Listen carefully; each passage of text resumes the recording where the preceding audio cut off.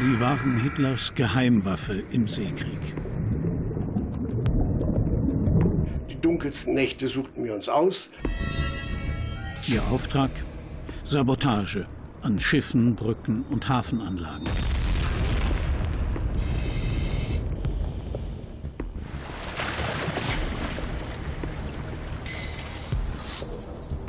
Jetzt kommt es auf uns an, dass wir eben bereit sind. Ein Himmelfahrtskommando in einem sinnlosen Krieg. Wenn ich da manchmal drüber nachdenke, dann denke ich, ich habe einen schlechten Film gesehen. Sie folgten in blindem Gehorsam bis zum Schluss. Eine Elitetruppe, auf die man sich hundertprozentig verlassen konnte. Sie waren bereit, sich selbst zu opfern. Und kaum jemand wusste, wer sie waren. Bis heute.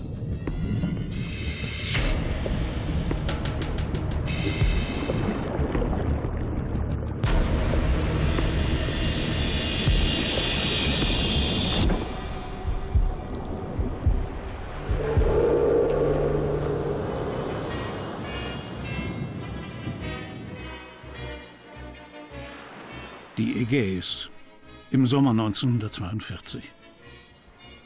Der berühmte Meeresforscher Hans Hass startet eine Unterwasserexpedition, wie es sie so noch nie gegeben hat. Hass testet ein völlig neues Tauchgerät.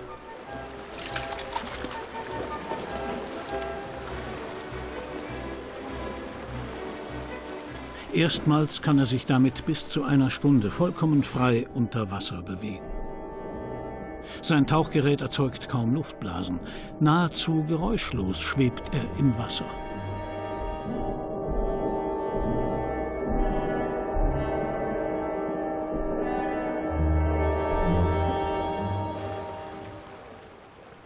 Mit an Bord ist auch Alfred von Wurzian, ein Freund aus gemeinsamen Wiener Studentenzeiten. Die Wehrmacht beurlaubt Wurzian für die Expedition. Ihn faszinieren vor allem die militärischen Möglichkeiten des neuen Tauchgeräts. Ideal für heimliche Sabotageakte unter Wasser. Voller Kriegsbegeisterung notiert er 1942 in sein Tagebuch. Wenn ich auf die unter Wasser liegenden Wracks hinabgetaucht war oder in der Abenddämmerung im Hafen umherschwamm, da ließ mich die Idee vom militärischen Einsatz von Schwimmern nie ruhen. Welche Möglichkeit gäbe es da, ungesehen an ein fremdes Schiff oder in einen Hafen hineinzugelangen? Manche Nacht konnte ich nicht schlafen, jede Minute hatte ich eine Idee, eine waghalsiger als die andere. Die Idee der Kampfschwimmer. Und Alfred von Wurzian wird ihr Lehrmeister, eine Art Führerfigur. Mit Haas hat er doch diese, diese Expedition gemacht und er äh, war also total sicher unter Wasser im Dunkeln. Ihm machte das also überhaupt nichts aus und äh, er war uns schon insofern eine große Stütze oder uns, wenn wir wussten, er war bei uns und äh, da konnte uns ja nichts passieren. Nicht? Er führte uns also praktisch in diese Materie unter Wassertauchen ein. Ende 1942. Sofort nach seiner Rückkehr aus der Ägäis führt Wurzian den Militärs seine Kampfschwimmer-Idee vor. Zunächst vergeblich. Ein Monat bin ich äh, von Amt zu Amt gelaufen. Am Schluss bin ich zur Marine, habe dem äh, erklärt, wie man äh, Schiffe angreift. Und am Schluss sagt er der Admiral, Sie sehen also, drei oder vier Leute, die vernichten die englische Flotte. Und äh, bin ich natürlich rausgestanden, wenn es Sie nicht interessiert, äh, gehe ich wieder. Dann wurden wir der Generalität vorgestellt. Und als die Leute das sahen und hörten, dass wir nun raus ins Freiwasser sollten, um äh, dort weitere Übungen im Freiwasser durchzuführen, hat die Generalität gesagt, diese jungen Leute sollte man nicht zur er Erholung schicken, sondern an die Front schicken. Kampfschwimmer? Noch denkt Hitler in größeren Dimensionen. Gigantische Schlachtschiffe wie die Tirpitz sollen den Nazis zum Endsieg verhelfen. Die Tirpitz, das größte deutsche Schlachtschiff seiner Zeit. Ein Mythos. Für eine kleine Spezialeinheit wie die Kampfschwimmer sieht Hitler keine Verwendung. Doch dies sollte sich Ende 1943 schlagartig ändern. Englische Saboteure bringen Minen unter der Tirpitz an und setzen das Schlachtschiff für Monate außer Gefecht.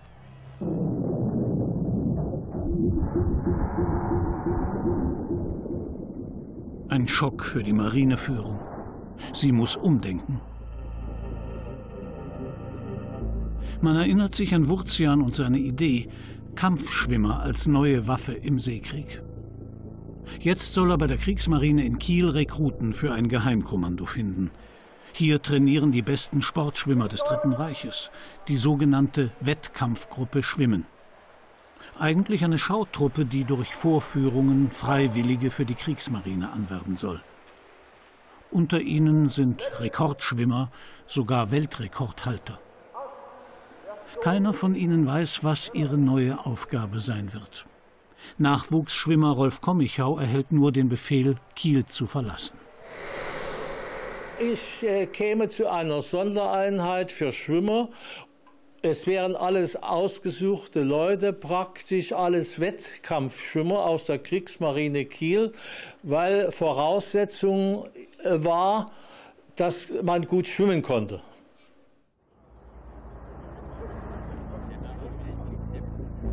Anfang Januar 1944 erhalten die ersten 20 Schwimmer ihren Marschbefehl Richtung Italien. In Kiel hatten viele von ihnen gehofft, als Mitglied der Wettkampfgruppe Schwimmen den Krieg ohne Fronteinsatz zu überstehen.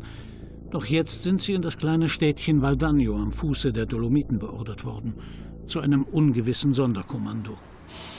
Ernüchtert kommen sie am Bahnhof an. Ihren Ärger bekommt Ausbilder Alfred von Wurzian zu spüren. Wenn du glaubst, dass wir, wir äh, uns von dir opfern lassen, äh, dann irrst du dich. Wie sie ankamen, waren sie nichts mehr als ein äh, Haufen von meuternden Soldaten, die nichts mit dem Krieg zu tun haben wollten.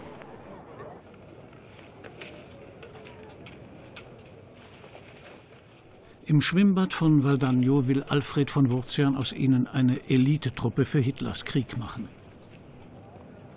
Aus den Sportschwimmern sollen Kampfschwimmer werden. Mit Training und militärischem Drill macht er sie gefügig. Stundenlang lässt er sie schwimmen und tauchen. Als Vorbild dienen die italienischen Kampfschwimmer. Sie trainieren ebenfalls in Valdagno und sie sind ihnen in der Ausbildung voraus.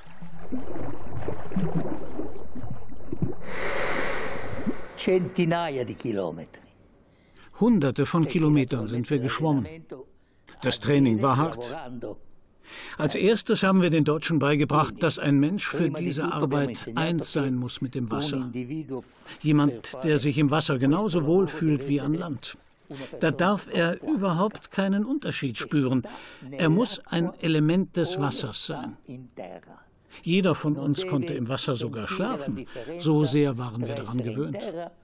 Es war uns gleich, ob wir uns im Wasser oder an Land befanden.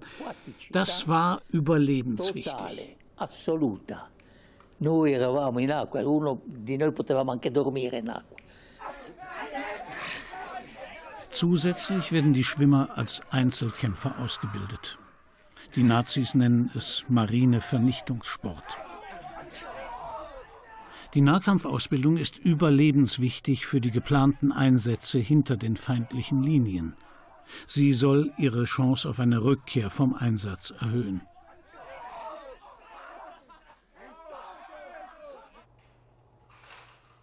Der zuständige Stabsarzt Dr. Armin Wandel spricht von erstklassigem Menschenmaterial.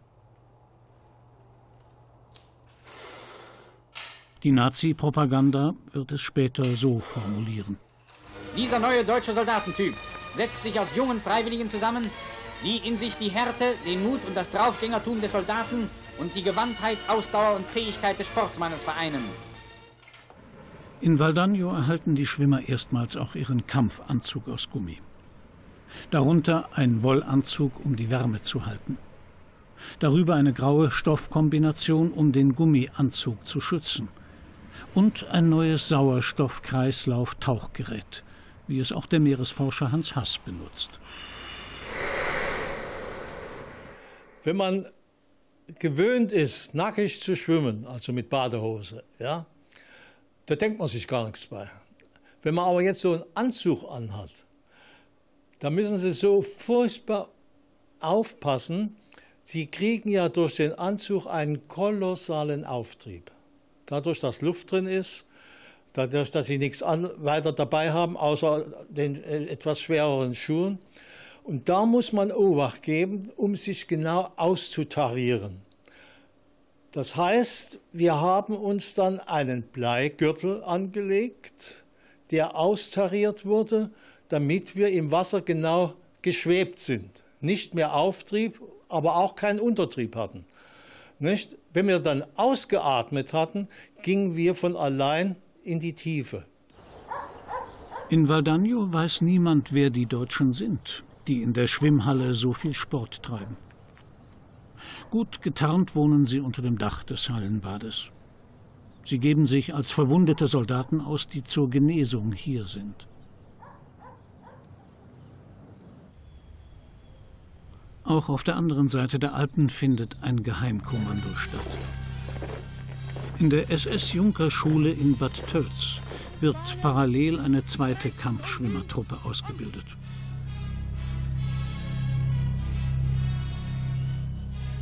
Tagsüber gehört die Schwimmhalle dem SS-Kader-Nachwuchs.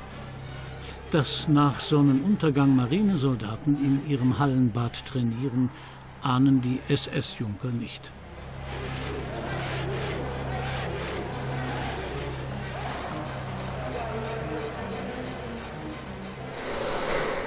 Wir sind nachts geschwommen. Wir sind manchmal abends um 10 in die Halle gegangen, haben da unsere Runden gedreht bis, bis nachts um 2 bei verdunkelter Halle und äh, das wusste keiner. Keiner außer ihm. Otto Skorzeny, SS-Sturmbandführer. In den Nachkriegsprozessen wird er später der gefährlichste Mann Europas genannt. Hitlers Mann für besondere Aufträge. Im September 1943 hatte Skorzeny den italienischen Faschistenführer Mussolini befreit. Solche Geheimkommandos verschafften ihm die Gunst Hitlers. Skorzeny will die Kampfschwimmer unter seine Führung bringen. Das ist dann aber abgelehnt worden. Ich glaube sogar von, von höchster Stelle, von, von, äh, vom K-Verband von Haie, Admiral Haie war ja unser oberster Chef, dass der dann gesagt hätte, das kommt nicht in Frage. Marine bleibt Marine, SS bleibt SS. Und somit haben wir also Glück gehabt, dass wir nicht zur SS gekommen sind. Nicht? Die Marine behält das Kommando über die Kampfschwimmer.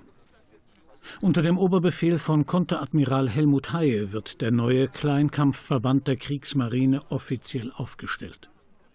Am 20. April 1944. Es ist Hitlers Geburtstag. Rechts und links, um!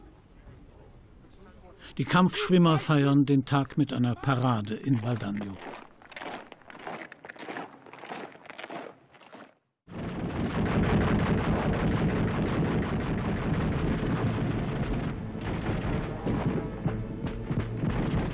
Sommer 1944.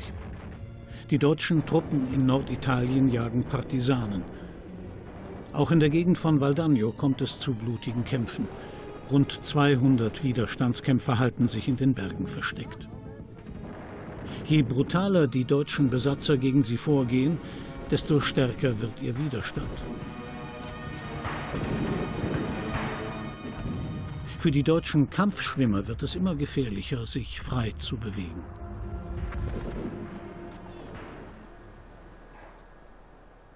An einem Sonntagmittag sind vier von ihnen auf dem Rückweg von einer Bergwanderung. Sie laufen durch das Dorf Borga, ganz in der Nähe von Valdagno. Es ist der 11. Juni 1944.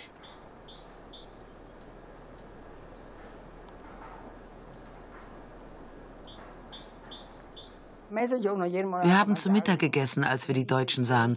Sie kamen gerade aus den Bergen und fotografierten. Für den 22-jährigen SS-Kampfschwimmer Hermann Georges findet die Bergwanderung ein jähes Ende.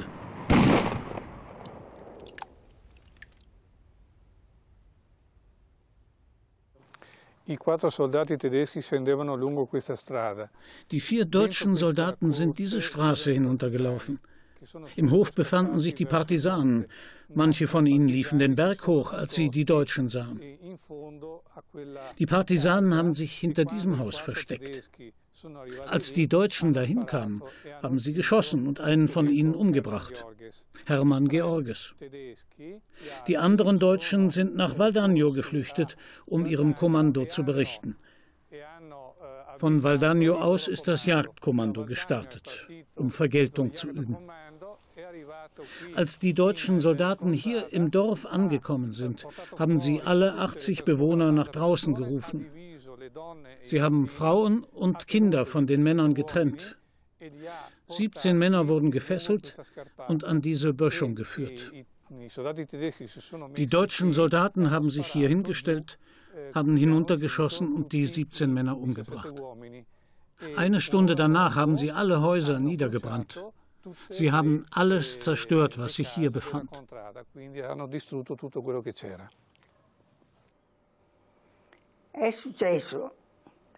Die Deutschen kamen an und haben uns aus den Häusern getrieben und angefangen, unsere Männer umzubringen.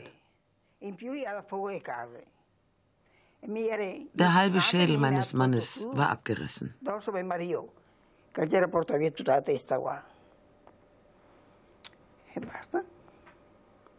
Ich war 13 Jahre alt, als ich die Toten auf dem Boden liegen sah. Obwohl ich all die ermordeten Männer gesehen habe, habe ich gehofft, meinen Vater und meinen Bruder lebendig wiederzusehen. Doch auch sie waren tot.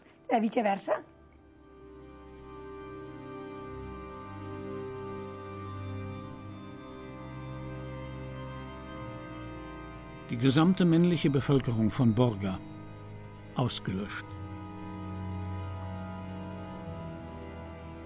Ein blutrünstiges Massaker, begangen von deutschen Soldaten.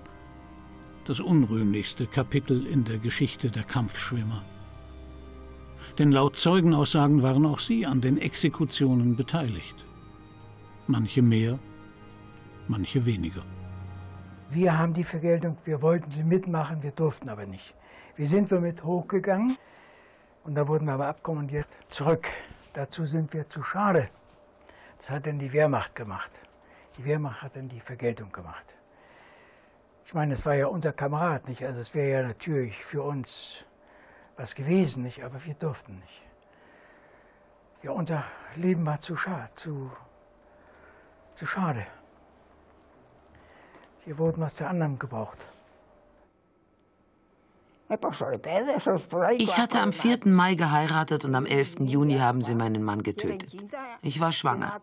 Mein Kind hat nur drei Tage überlebt.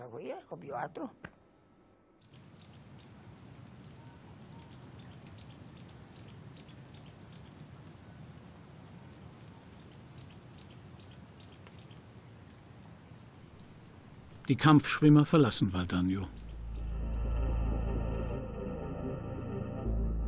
Ihr neues Hauptquartier ist die Insel Alga vor Venedig.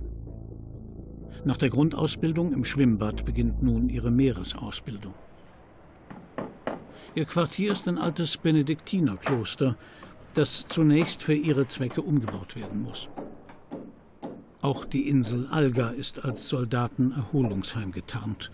Die Saboteure sollen unter keinen Umständen entdeckt werden. Sie schwören absolute Geheimhaltung. Viele von ihnen fühlen sich bis heute an das gemeinsame Gelöbnis gebunden.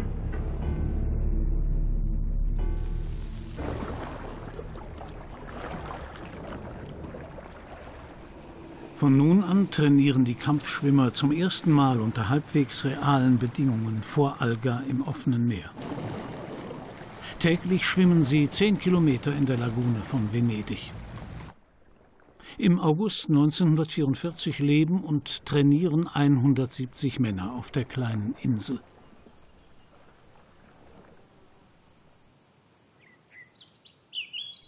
Unweit liegt das Schiffswrack der Tampico. Hier üben die Kampfschwimmer ihre Angriffe. Also unsere Tampico lag hier quer ab an den Dollen, im Hintergrund Venedig. Wir sind rausgeschwommen, haben geübt unterm Dampfer, haben unsere äh, Bomben angebracht, sind, haben das Tauchen geübt vom Backbord nach Steuerbord, um uns die Angst zu nehmen, dieses Gefühl, überhaupt unterm Wasser, unterm Dampfer zu sein. Das haben wir dann nachts wiederholt, häufig.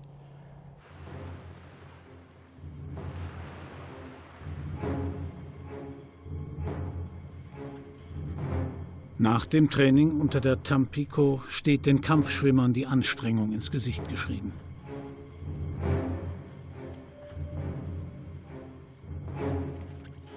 Die meisten von ihnen tauchen zum ersten Mal im trüben Meerwasser.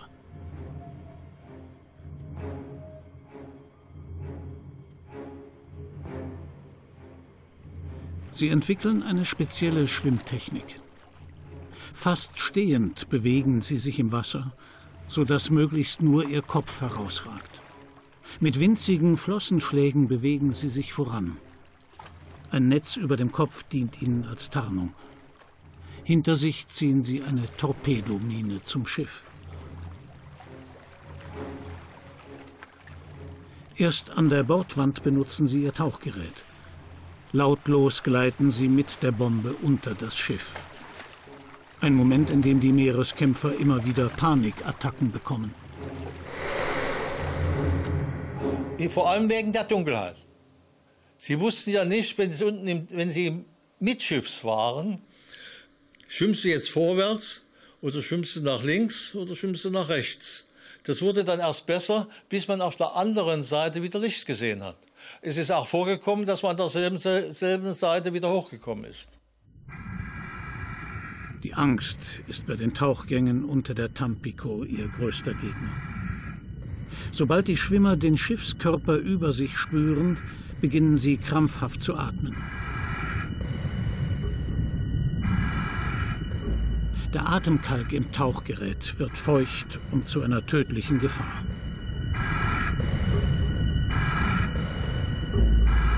Es tritt dann eine Kohlendioxidvergiftung ein.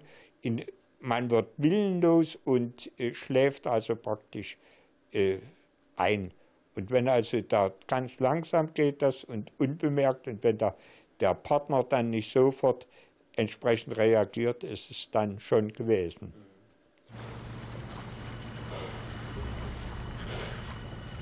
Mehrmals täglich tauchen sie ab in die dunklen Tiefen. Sie proben den Ernstfall und gehen bis an ihre Grenzen. Unerbittlich treibt sie ihr Ausbilder Alfred von Wurzian an. Ich habe immer gesagt, man muss die Gefahr einfach suchen, damit ungefähr 90 Prozent der Gefahren, die man äh, im Einsatz erleben kann, wie im äh, Schlaf gehen. Man hat sich sicherlich irgendetwas äh, im Inneren vorgemacht, dass gar nichts passieren kann. Nicht? Und wenn jemand so, Anführungsstrichen, dumme Gedanken hatte, dann hat man versucht, das dem auszureden. Du brauchst doch keine Angst zu haben, du kommst doch von alleine hoch. Nicht? Einer von ihnen kommt nicht mehr hoch. Es ist der bekannte deutsche Kraulschwimmer Werner Bullin. Erst neun Tage nach dem Unfall taucht seine Leiche in der Lagune von Venedig wieder auf. Sie beerdigen den Kameraden auf der nahegelegenen Toteninsel. Er sollte nicht das einzige Todesopfer während der Ausbildung bleiben. Die Verluste bedrohen die Moral der Truppe. Für Gefühle ist kein Platz. Wir sind von der Beerdigung gekommen, von der Insel, von der Toteninsel, wieder zurück, auf Nacht zu Alga rüber. sofort einen Anzug angezogen und sofort getaucht. Also überhaupt keine Angst, erstmal aufkommen lassen und, und drüber nachdenken, was, was ist dem passiert oder so. Das äh, äh haben wir sofort gemacht.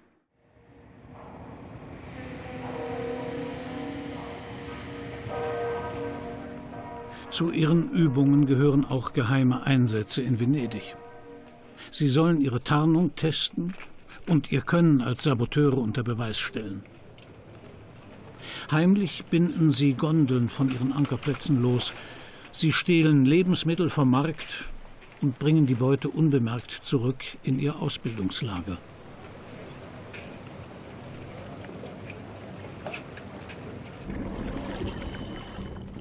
Dieses gespenstische Treiben in den Kanälen wird bald Stadtgespräch.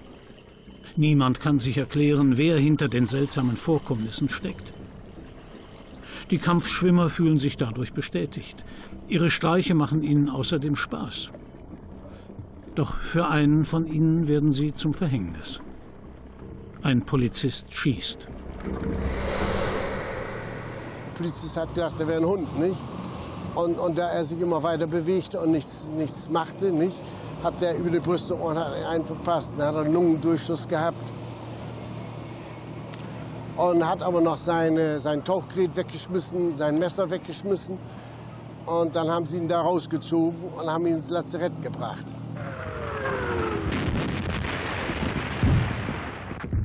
Im Juni 1944 kommt der Krieg näher.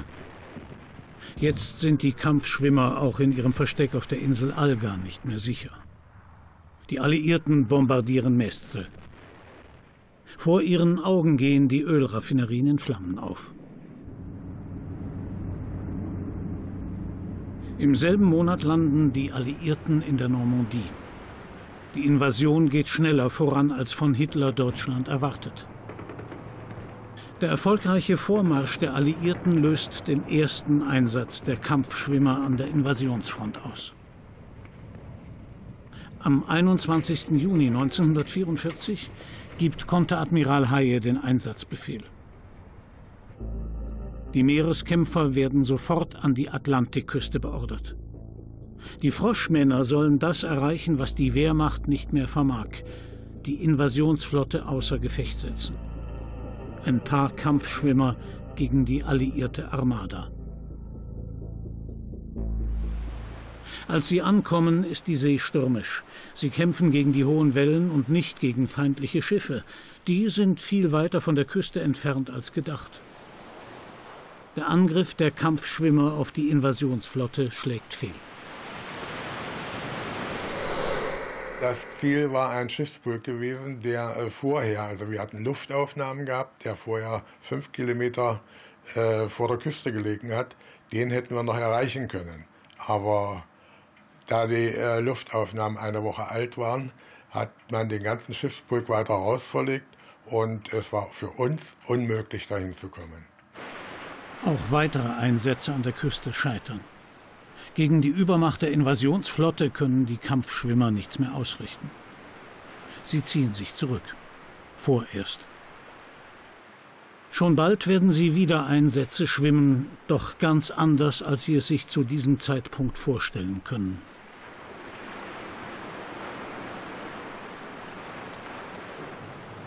Nach ihrem Scheitern an der Invasionsfront setzt die Kriegsmarine auf eine weitere vermeintliche Wunderwaffe aus dem Kleinkampfverband, die sogenannten Einmann-Torpedos. Ein lenkbarer Torpedo, in dem ein Mensch Platz hat. Darunter ein scharfer Gefechtstorpedo. Einzelkämpfer wie Walter Gerhold werden mit ihnen an die Invasionsfront geschickt, obwohl die Waffe technisch unausgereift ist. Das NS-Regime setzt ohne Rücksicht alles ein, was die Rüstung in diesen Kriegstagen noch aufbieten kann.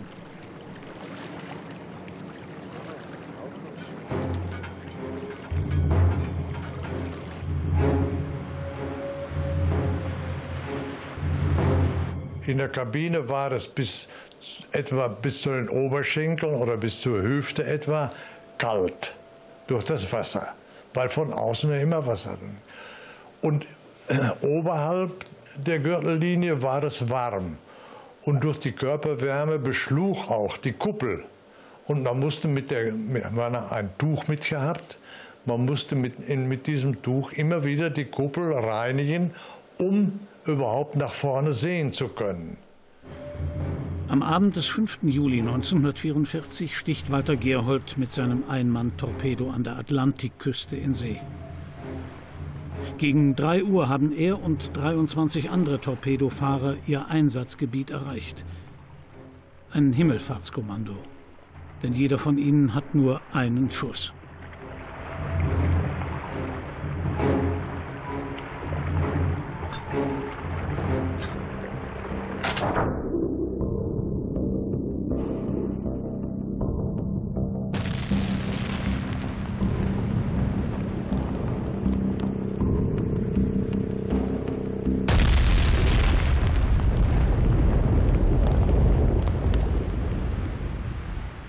Nachdem ich losgeschossen habe, gab es dann eine riesen Detonation mit Brocken geflohen in der Gegend umher, auf das Wasser sind drauf geklatscht und dann sah ich auch schon, dass der Kreuzer mit dem Buch steil gen Himmel ragte.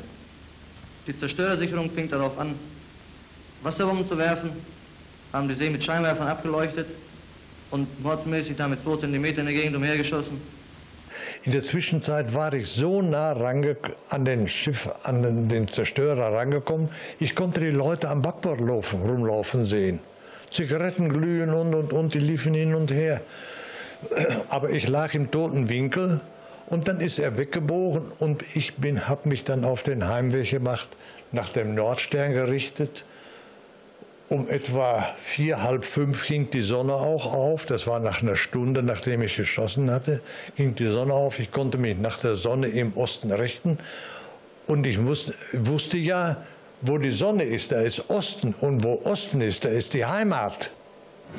Winzige schwarze Punkte werden in der Brandung sichtbar. Dann gibt das Meer die Helden wieder. Gerhold hat eine britische Fregatte versenkt. Die NS-Propaganda schlachtet die blinde Opferbereitschaft der jungen Männer gnadenlos aus. Was sie einsetzten, wagten und erlebten, steht in ihren Gesichtern geschrieben. Typ eines neuen deutschen Soldaten, dem die Bedingungslosigkeit Kraft gegeben hat, jederzeit sich selbst zu opfern. Soldaten, die bereit sind, sich selbst zu opfern ganz nach dem Geschmack des Oberbefehlshabers der Kriegsmarine Großadmiral Dönitz. Er lässt die Einzelkämpfer aus dem K-Verband öffentlichkeitswirksam in der Wochenschau antreten. Hier wird von Konteradmiral Haie das ihm vom Führer verliehene Ritterkreuz überreicht. Walter Gerhold, aus Sicht der Nationalsozialisten einer der wenigen Kriegshelden in den Tagen des Niedergangs. Doch Hitlers Wahnsinnskrieg erfordert immer mehr opferbereite Soldaten. Die Propagandamaschinerie läuft auf Hochtouren. Zur besonderen Freude der Hitlerjungen haben die Kampfmittelfahrer einen Original-Einmann-Torpedo mitgebracht. Jeder darf einmal einsteigen und die Hebel bedienen. Auch künftiges Kanonenfutter soll für den Krieg begeistert werden. Die Torpedomänner erzählen der Hitlerjugend von ihren Heldentaten. Was sie nicht sagen, kaum einer von ihnen kehrt von den Einsätzen zurück. Dieses Wort Selbstmordkommando wird von allen, die heute noch da sind, dermaßen ungern gehört. Wir waren keine Selbstmordsoldaten. Aus den äh, Akten der Seekriegsleitung äh, geht hervor, dass man Einsätze des K-Verbandes mit folgenden Begriffen umschrieben hat. Winkelried, Opferkämpfer, Kamikaze, Totaleinsatz und Sturmwikinger. Und hinter jedem dieser Begriffe verbirgt sich eine Einsatzform, die die Opferung des Einzelkämpfers im Grunde erwartete.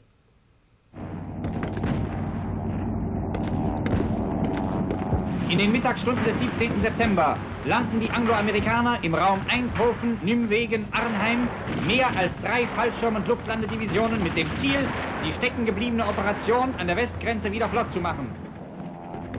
Mit dem groß angelegten Luftlandeunternehmen Market Garden gelingt den alliierten Invasionsarmeen im Westen der weitere Vormarsch.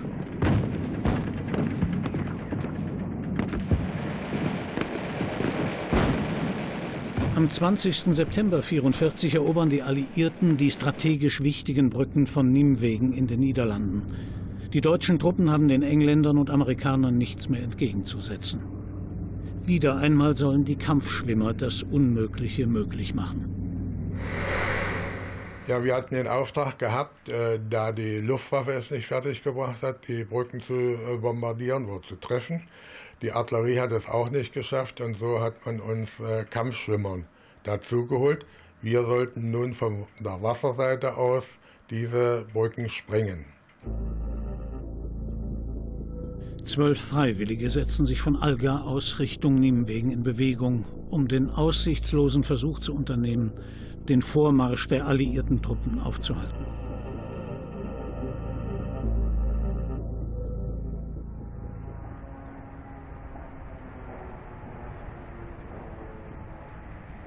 Eine Operation im Rücken des Feindes. Die Kampfschwimmer müssen je sieben Kilometer feindliches Gebiet durchqueren. Vor und hinter den beiden Brücken, einer Straßen- und einer Eisenbahnbrücke. Es ist der 29. September 1944.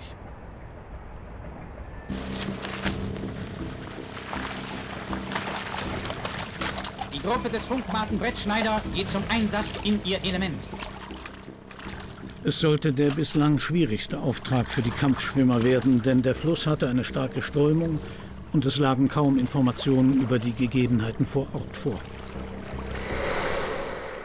Was uns nicht bekannt war, dass hinter der Straßenbrücke eine Pontonbrücke lag. Die Luftaufnahmen, die wir vorher gesehen haben, haben das nicht ergeben. Und so waren wir plötzlich vor der Pontonbrücke. Wir haben Glück gehabt, dass wir da durchkamen, dass wir es bei Zeiten gesehen haben, denn es loderten noch einige Feuer in Nimwegen, die vom Bombardement her äh, rührten. So schwammen wir dann unter der äh, Brücke durch, wo noch Wachleute drauf waren, und äh, sahen dann in der Ferne den Pfeiler, den wir ansteuern mussten und wollten. In der mondhelle Nacht erreichen sie ihr Ziel, die Walbrücke bei Nymwegen, und legen nach einem schweren Kampf mit dem Strom die Sprengladung an. Zur festgesetzten Minute fliegt die Brücke in die Luft. Die Explosion hat man gehört, aber wir wussten ja nur nicht, wie der Erfolg war. Die Eisenbahnbrücke wird vollständig zerstört. Die Straßenbrücke beschädigt. Militärisch gesehen ein kleiner Erfolg für die Kampfschwimmer, doch wie sich herausstellen wird, letztlich ohne jede Bedeutung für den weiteren Kriegsverlauf. Nach der Brückensprengung versuchen die Kampfschwimmer so schnell wie möglich aus dem feindlichen Gebiet herauszukommen. Ein nahezu unmögliches Unterfangen, da langsam der Morgen dämmert. Während einige Kampfschwimmer sich verstecken, lassen sich zwei von ihnen weiter stromabwärts treiben. Sie werden von Holländern entdeckt. Bei einer Werft ziehen sie die deutschen Froschmänner aus dem Wasser. Rolf Wanderwerf stand am Ufer und hat die Festnahme beobachtet. Mein Vater die stond altijd heel vroeg uit zijn nest. Mein Vater stand immer sehr früh auf und eines Morgens kommt er um halb sieben in der Früh auf den Balkon.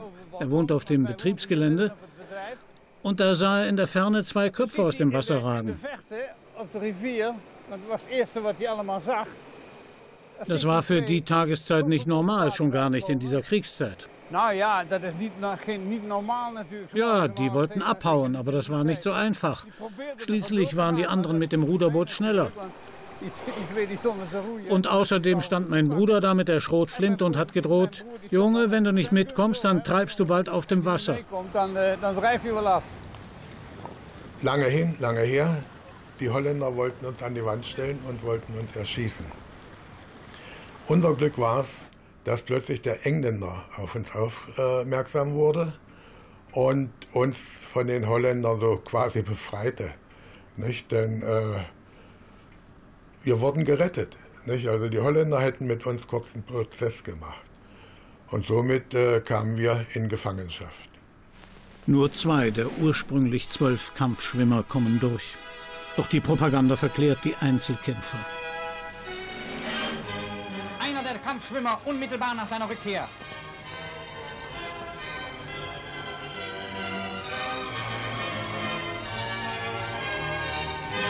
Von ihnen sagen unsere Gegner, sie führten ein Unternehmen durch, das zu den verwegensten des ganzen Krieges gehört. Eines Krieges, der längst nicht mehr zu gewinnen ist. Das Deutsche Reich ist am Ende. Berlin geht Anfang 1945 im Bombenhagel unter. Doch Hitler denkt in seinem Wahn nicht ans Aufgeben. Selbst Kinder schickt er an die Front. Niemals wird Deutschland kapitulieren. Und darauf kann man sich verlassen. Derjenige, der die Waffen niederlegt, als allerletzter, das wird Deutschland sein, und zwar fünf Minuten nach zwölf. Einer, der diese Worte bis zuletzt umsetzt, ist der Oberbefehlshaber der Marine, Großadmiral Dönitz.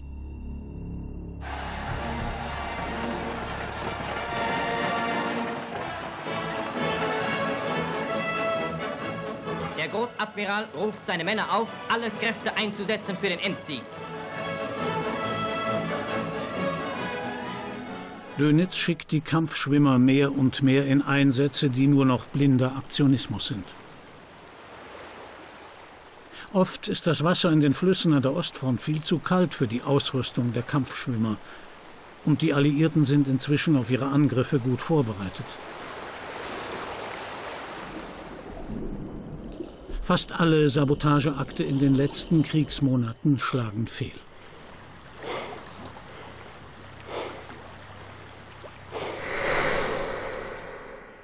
Gut, wir haben die Brücke gesprengt, der Nachschub äh, wurde geringer, aber wenn die dann Pontonbrücke haben und wenn sie ihre Amphibienfahrzeuge haben, nicht, da waren wir äh, machtlos dagegen. Nicht? Also, da konnte man nichts machen. Wir haben keine, keine Kriegsschiffe mehr versenkt. Wir haben da also äh, Frachtdampfer versenkt. Das war ja alles nicht kriegsentscheidend. Wenn wir dann Dampfer versenken im Hafen von, von, von Zara und von Split, was, was hat er mit dem Kriegsausgang zu tun? Da hätten wir den Krieg nicht mit gewinnen können. Trotzdem gibt Hitler aus dem Führerhauptquartier weiter unerbittlich Befehle. Und immer noch gibt es Leute, die ihm folgen.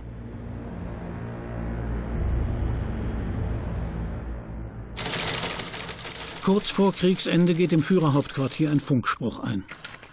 Vom Kleinkampfverband der Kriegsmarine machen sich tausend Einzelkämpfer bereit für die Schlacht um Berlin. Absender ist Hitlers treuer Gefolgsmann Dönitz. Zwei Tage später wieder ein Funkspruch von Dönitz. Er kündigt an, zum persönlichen Schutz des Führers weitere 30 Einzelkämpfer aus dem K-Verband nach Berlin zu fliegen. Ob die Männer tatsächlich in Berlin angekommen sind, ist ungewiss. Fast alle Akten über die Kampfschwimmer und Torpedomänner wurden vernichtet. Von ihrem Mythos bleibt kaum etwas übrig. Die Einzelkämpfer des Kleinkampfverbandes sind äh, bei ihren Einsätzen vielfach geopfert worden, in einem sinnlosen Opfer, weil die Ergebnisse so gering waren, dass man sich heute kritisch fragen muss, war das noch ein militärisch sinnvoller Einsatz?